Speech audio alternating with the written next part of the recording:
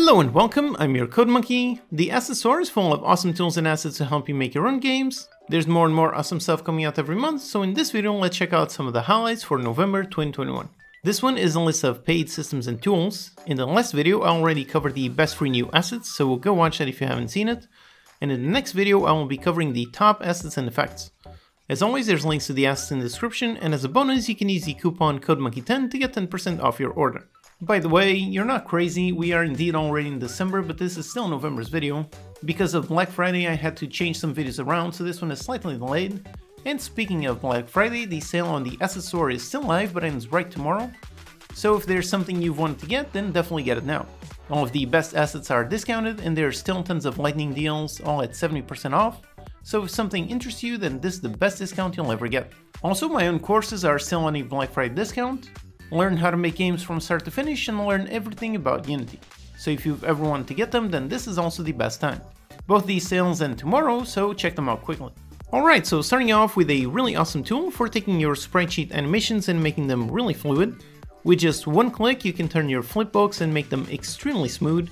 The results really speak for themselves, quite a massive difference. Flipbooks or sprite sheets are always an excellent way to have some very complex looking visuals but make them really performant. The main downside is usually they look a bit janky due to the limited frame rate, but with this they look perfectly smooth.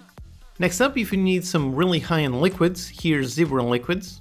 I actually also covered this one in the free assets video because it also has a free version. That one has some limitations, but this one has everything. Visually, you can see it looks really excellent, great visuals, and it reacts perfectly with all of the colliders. Lots of splashes, waves, and everything, it's GPU powered, so that makes it very performant, works in both URP and HDRP. Next up, polish your text with Animatext.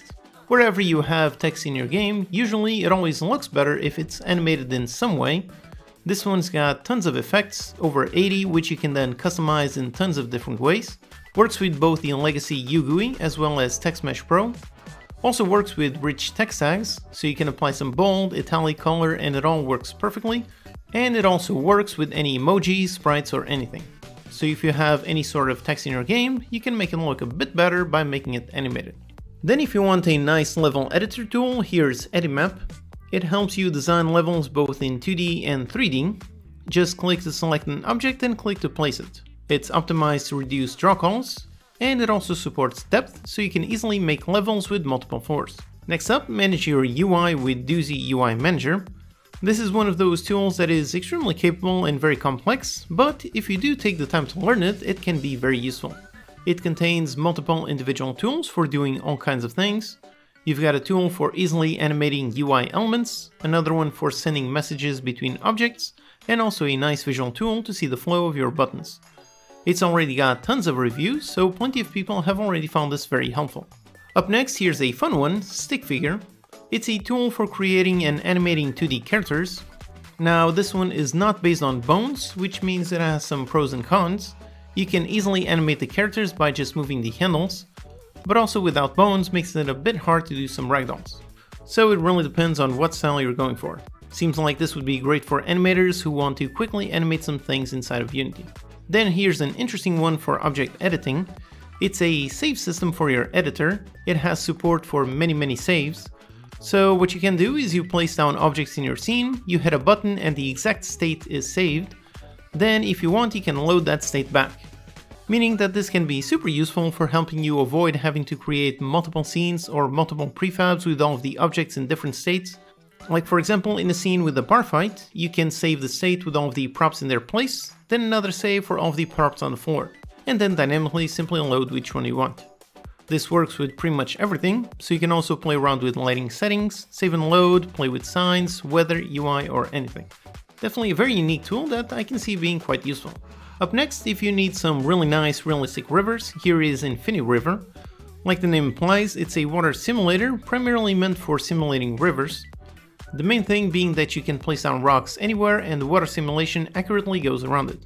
But of course, liquid doesn't really just mean water, so it can be lava, mud, or anything you want. Up next, here's an interesting tool to create tons of content for your 2D games.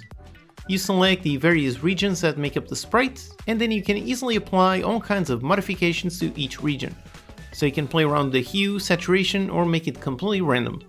This can really help cut down the amount of work you need to do if you have lots of similar looking items, and being able to define those regions means that it looks much better than having to tint the entire object. And finally, here's another fluid simulator, lots of them this month.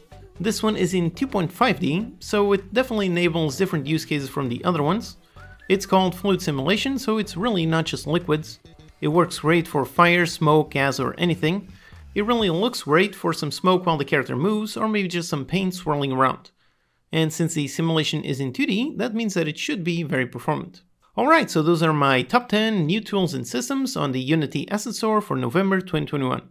There's links to all in the description, and as a bonus, you can use the coupon code monkey10 to get 10% off your order. Check the full playlist to see some more lists with free and paid assets, and let me know if you pick up any of these and what you intend to do with them. And don't forget the Black Friday sales that end really soon. There's one on the Asset Store and also a sale on my own courses. Alright, hope that's useful. Check out these videos to learn some more. Thanks to these awesome Patreon supporters for making these videos possible. Thank you for watching and I'll see you next time.